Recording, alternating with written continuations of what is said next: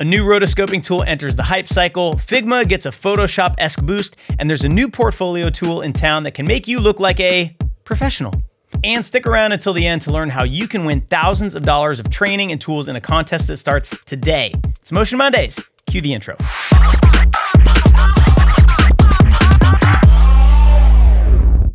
But first, do you know what the CC prefix stands for in certain After Effects effects? Stick around until the end to uncover this little known piece of Adobe history. Okay, I've got some good news and some bad news about Runway. Let's start with the good news. Runway has launched a new feature for Gen 3 Alpha, their latest AI video model, and it's blowing up social media. You can now upload any image and generate a short video clip from it. I tested it with a beetle photo. This is a Hercules beetle that we saw in a recent trip to Georgia, and a picture of my son with a python wrapped around his neck, which is just something you have. The results were interesting. While clearly AI generated with glitches, it's still impressive tech, and you can see tons of examples on X, some that are actually pretty cool. However, here's the bad news. There's controversy brewing. Reports suggest Runway trained their model on scraped YouTube videos. I'm sure this doesn't surprise anyone watching this, which includes copyrighted content. This could and probably will lead to legal issues, especially given YouTube's stance against AI training on their platform. It's a reminder that we're still in the wild west of AI ethics and legality. As the industry grapples with these challenges, some brands are even including no AI clauses in their contracts. The AI roller coaster continues, so do your best not to vomit. SIGGRAPH 2024 wrapped up in Denver last week, showcasing state of the art 3D techniques and technology. Maxon's YouTube channel is a goldmine, replaying all of their three days of presentations, around 20 hours of content, including our own EJ Hassenfratz's ZBrush demo. And there were lots of other things announced and demoed as well. HP unveiled the Z Captis, a nifty device for digitizing materials in minutes, working seamlessly with Adobe Substance 3D Sampler. The Jim Henson Company wowed attendees with digital puppets powered by Unreal Engine, blending traditional puppetry skills, motion capture, and real time rendering. Clear Angle Studios DI4D and Texturing XYZ demonstrated groundbreaking 4D facial capture, enabling much more realistic facial animation that gives some of the best results we've seen. SIGGRAPH remains possibly the nerdiest conference in our world, consistently pushing the boundaries of what's possible in 3D and motion design. So look out for next year's conference if you want to experience the cutting edge for yourself. Our School Motion summer mini session kicks off today, but there's still time to jump in during orientation week.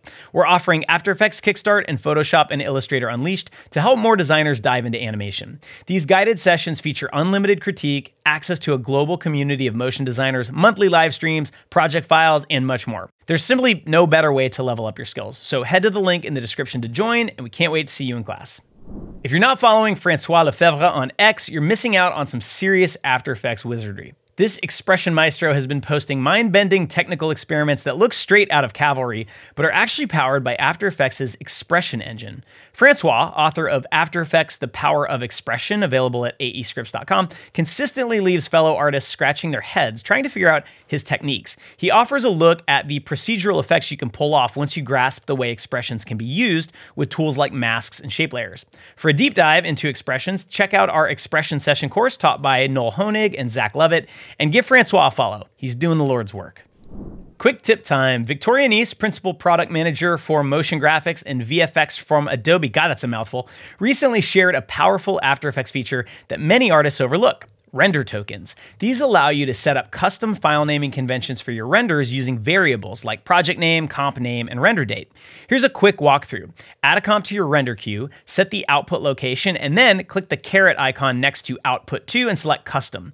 Now you can build a template using various properties. For example, add tokens for project name, comp name, date, and file extension. You could save this as a preset and it creates an automatic consistent naming system for your renders, a huge time saver, especially in larger projects pipelines. The latest After Effects beta even includes new tokens like aspect ratio. So give it a try and let us know if this improves your workflow. And please let us know if these quick tips are helpful and we'll keep doing them. Attention, aspiring motion designers, our School of Motion scholarship application for the 2024 fall session is now open. This is your opportunity to win a free seat in any of our courses, available to artists worldwide who could use a boost.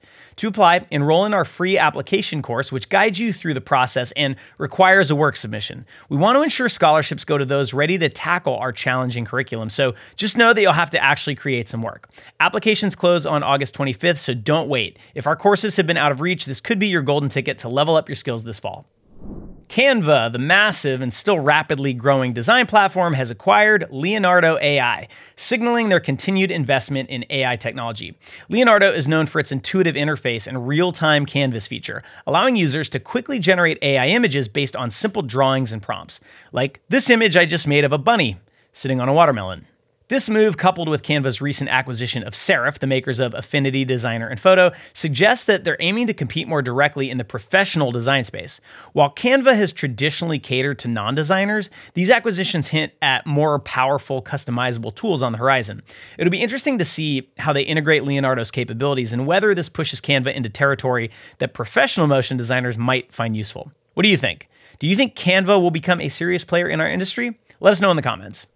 Figma users, rejoice! A new plugin brings Photoshop like functionality to your favorite design tool via an app called Photopea. Photopea is a free online image editor that very closely mimics Photoshop's interface and features. I'm honestly not sure how it's legal. The tool now integrates directly into Figma via a plugin released by Photopea's creators. This means you can now access advanced image editing tools, filters, effects, paint tools, and more without leaving your Figma workspace. It's a big time saver for designers who love Figma, but who miss Photoshop's image manipulation capabilities. This plugin also showcases a unique advantage of cloud based tools. Not having an app being hosted on your local machine allows developers to more seamlessly integrate separate applications. Check out the link to the plugin in the description. It is free to use. And if you've tried it out, let us know your thoughts in the comments. Could this be the perfect bridge between vector design and raster editing for motion designers who use Figma? As I tell my children almost daily, maybe. If you're looking to refresh your online portfolio, check out Format. This hosting service offers a wide range of beautifully designed modern templates that can make your work shine and make you look like you've got great taste in web design. As someone who often recommends against reinventing the wheel for portfolios, I think you should just use a template. I'm really impressed by Format's clean, professional layouts. They offer great typography, compositions, and even subtle animations built right in. You can easily preview how templates look on mobile devices, ensuring your portfolio looks great on any screen. While it might not be worth switching if you're happy with your current setup, Format is definitely worth considering for those building a new portfolio or looking for an upgrade. The pricing is competitive too, so take a look and let us know what you think. It's time to celebrate our School Motion Student of the Week, Jamie Browning from Ireland. Jamie, a graphic designer and animator at Viatas, wowed us with his submission for the Growth Mindset assignment in our Cinema 4D Ascent course. His piece showcases impressive procedural effects, subtle camera work, and excellent texturing and lighting. The final shot featuring this beautiful blooming effect really caught our eye. Jamie's design background shines through in the composition and overall polish, and we're thrilled to see how he's applying his new C4D skills and can't wait to see what he creates next. Congratulations, Jamie, you're killing it. Here's a quick recommendation. If you haven't discovered True Grit Texture Supply yet, you're in for a treat. The site is a goldmine for high quality textures and brushes that bring that coveted analog feel to digital designs. They offer texture packs and brushes for Photoshop, Procreate, Illustrator, and more. I've been using their products for years, especially in Procreate, and they're fantastic for achieving effects that are tricky to recreate from scratch. So whether you're after halftones, comic book styles, or vintage stippled looks, True Grit has you covered, and they frequently run specials and bundles, making it easy to expand your toolkit. Check them out for both tools and inspiration. Your pixels will thank you. Meta has just released version 2 of their Segment Anything model, SAM2, and it's currently being hyped to infinity, as most AI enabled things are. This tool can segment objects and track them across video frames in real time, a potentially, and I hate this term, game changing development for rotoscoping. The speed is really, really impressive, with some tasks that might have taken weeks now accomplished in seconds, like this shot of the gymnastics goat Simone Biles. However, as VFX supervisor Hugo Guerra points out, the results aren't quite production ready for high end work. There are still issues with flickering, disappearing parts, and limited fine tuning options. That said, for simpler tasks like maybe placing text behind foreground elements, SAM2 could be incredibly useful.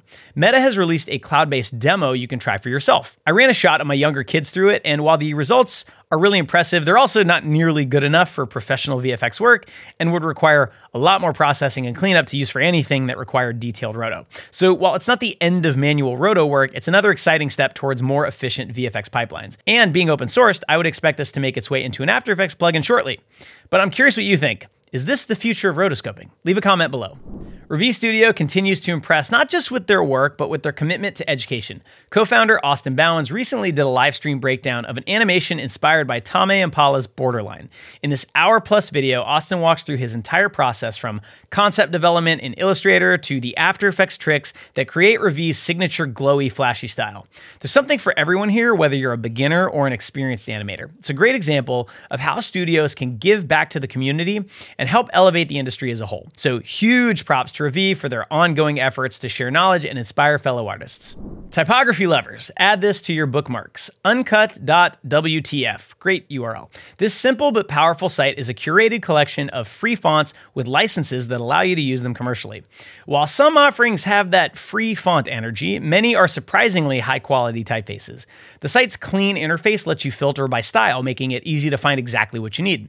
Uncut is constantly updating its library with a submission form for type designers to share their work. So, whether you're working on a personal project or need a fresh look for a client, Uncut might just have the perfect typeface waiting for you. It's a great addition to your design resource toolkit, and as we mentioned, it's free. And finally, big news from School Motion. We are releasing our first ever animated short film, Metal Heart, on August 14th.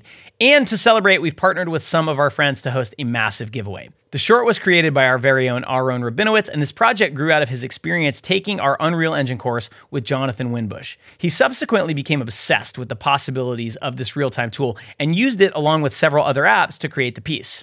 To celebrate the launch on the 14th, we're also releasing a detailed behind the scenes look at the software, techniques, and assets used in production. And there's more. We're also hosting a massive giveaway worth nearly $5,000 featuring prizes from the Pixel Lab, Artlist, Maxon, Revision Effects, and more. Two lucky winners will even score a year of our new School of Motion All Access, currently only available to companies, which gives you access to every course we offer and the ability to learn at your own pace, but with the unlimited critiques, monthly live streams, and community that we're known for. The contest starts today, and you can get all the details at schoolmotion.com slash metalheart. Make sure you enter for a chance to win, and also make sure you're subscribed to this channel so you don't miss the premiere of the film and the making of coming out next Wednesday. It'll be epic. See what I did there? And that's it for this week. Remember our trivia question about the CC in Adobe After Effects effects? Well, it stands for Cycore Cult Effects. See, back in 2001, Adobe acquired software developer Cycore Cult Effects, integrating their effects into After Effects. I'm saying the word effects a lot, aren't I? Anyway, the CC prefix was added to distinguish these from Adobe's in house effects. This acquisition strategy has actually been key to After Effects dominance, allowing Adobe to rapidly expand the app's capabilities. They've done similar deals with companies like Mettle, acquiring their VR tools in 2017, Maxon for Cinema 4D Lite, and Imagineer for Mocha AE. It's a reminder that even software giants like Adobe often grow through smart acquisitions rather than developing everything in house. Now you've got a new piece of MoGraph trivia to impress probably no one, just being honest. And that is a wrap. Make sure you're subscribed to this channel so you don't miss any of the cool stuff we're up to. Head to schoolmotion.com slash metalheart to enter our contest. And remember, you still have a few days to sign up for our summer mini session of After Effects Kickstart or Photoshop and Illustrator Unleashed. All the details and links mentioned are in the description. Have an awesome week, and I'll see you next Monday.